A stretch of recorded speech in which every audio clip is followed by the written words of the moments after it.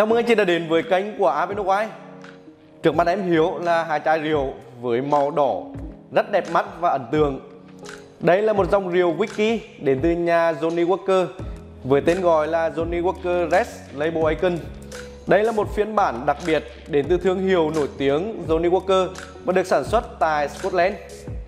Chai rượu này là phiên bản cao cấp của dòng whisky blended và được phối trộn từ những dòng whisky đơn và mạch nhá.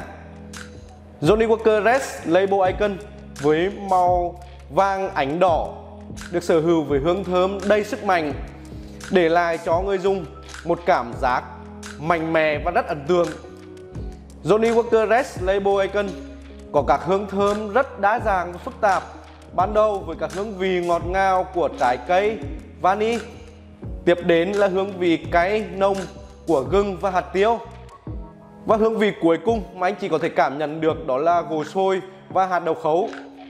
Johnny Walker Red Label Icon rất phù hợp với các món ăn nhiều gia vị như là thịt nướng, thịt kiêu, các món ăn từ BBQ, thịt bò.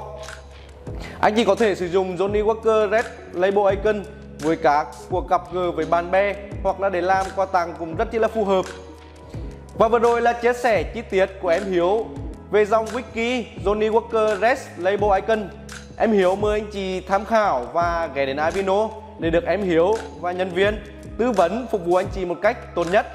Em Hiếu mời anh chị đăng ký kênh của Avino Wine để luôn được cập nhật những video mới nhất về dòng vang, dòng whisky Còn bây giờ em Hiếu xin phép dừng video tại đây.